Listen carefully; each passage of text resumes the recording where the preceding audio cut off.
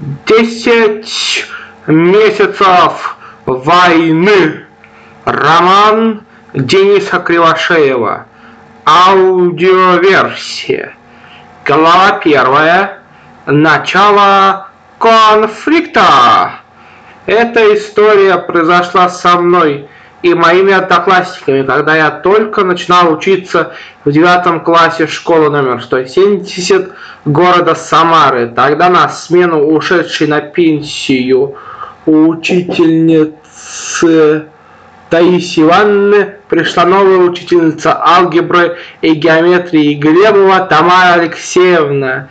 Дело было в сентябре 2009 года. Я беззаветно играл с друзьями во дворе школы на больших переменах, которые длились 20 минут, не понимают, что скоро предстоит пройти серьезное испытание, единый государственный экзамен, к которому я не был готов. Впрочем, как и большинство учеников в Самаре, на первом совещании у директора школы Моисеенко Анатолия Кузьмича Тамара Алексеевна заявила, что уровень образования в девятых классах крайне низкий. Изо всех учащихся хорошо знают ее предмет только 10% учеников. Причем это касалось не только школы 170, но и других лицеев и гимназий Самарской области. Что вы предлагаете?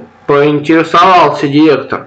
Оставить только тех учеников в школе, которые не просто хорошо знают мой предмет, но и любят и ценят царицу наук математику. С пеленок у них больше шансов сдать ЕГЭ, чем у остальных. А что будет с остальными? Поинтересовался Кузьмич а их выгнать из школы, заставляете работать на завод 24 часа, 7 дней в неделю на благо нашей Родины. Из оставшихся в школе учеников я сформирую элиту российского образования, которые не только смогут успешно сдать ЕГЭ, но изменить целый мир. Планы Тамары Алексеевны простирались далеко за рамки учебного процесса. Как знать, если бы история повернулась по-другому, возможно, у нас был бы новый министр образования в стране, а может даже и президент. В любом случае, Тамару тогда было не остановить, и хоть директор ее тогда не поддерживал, многие учителя Самары загорелись ее идеями уничтожать троечников и двоечников, бить их ремнем, долбасить на переменных, заставлять носить отличительные значки, красные повязки на рукавах.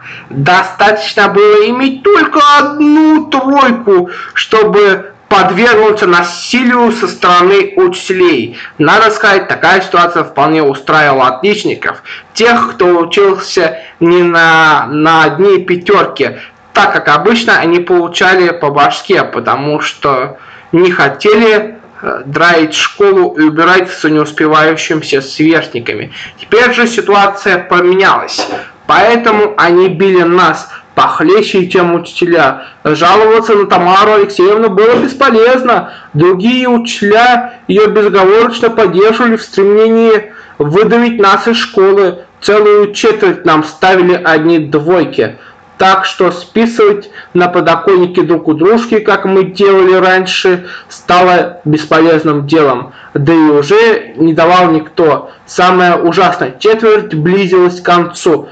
Но тут впервые, глядя на все то, что происходит в его школе, Кузьмич не поддержал Тамару Алексеевну в ее методах воспитания подрастающего поколения и распустил на карантин наш класс. Вместо одной положенной недели мы отдыхали три, а когда вышли с карантина, в школе нас ждал неприятный сюрприз. Директор бежал куда подальше, а вместо него власть советском районе захватила Тамара Алексеевна. По специальному мегафону она объявила нам, что первое, профсоюз учеников будет распущен. Второе, директор теперь она. Третье, каждый, каждый ученик и учитель отныне будет подчиняться ей и ходить в школу строем. Четвертое, двоечников и троечников я попрошу покинуть Самару в недельный срок. В противном случае пеняйте на себя. Пятое. Я организую так называемый учительский джихад. Объединение всех учителей и учеников Самарской области, кто поддерживает мои ценности и веру в то, что двоечников уже не перевоспитать. За схожесть методов мы прозвали учительский джихад Тамарейх. Этот ее призыв по мегафону слушали и в других школах, что, что позволило ей де-факто захватить не только власть в районе, а вообще власть в Самаре. Ее присягнули все, кроме нашего, тогда 9 Б класса а она вскрыла склады с оружием, которые были у кадетов в специальных помещениях школы и раздала стволы себе и своему рейху, состоящему из учителей и отличников школы номер 170.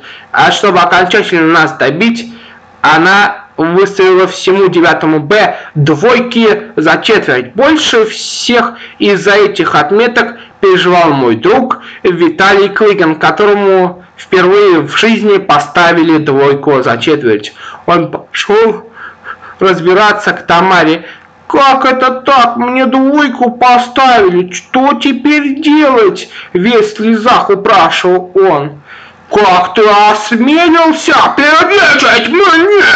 Я лучше тебя знаю, что у тебя там в четверти выходит. Вы мне весь девятый Б надоели. Только вы одни мне непокорны.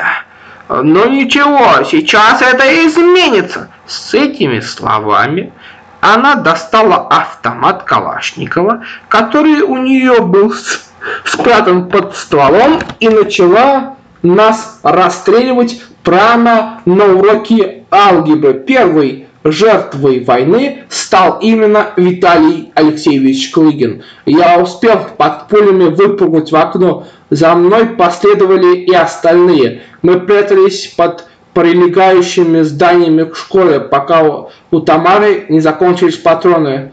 Тут мы поняли, что отсиживаться мы не имеем права, и Гриша Ливанов призвал всех учеников собраться на митинг протеста против произвола учителей в столовой школы с плакатом «Мы против войны». На его призыв откликнулось десятки учеников по всей Самаре. Так, в противовес учительскому джихаду был создана, была создана конфедерация учеников Самары, самое мощное объединение в истории России, которого объединила сильных духом и свободных людей из разных школ и гимназий Самары, целью которых стала защита угнетенных двоечников. Конец первой части.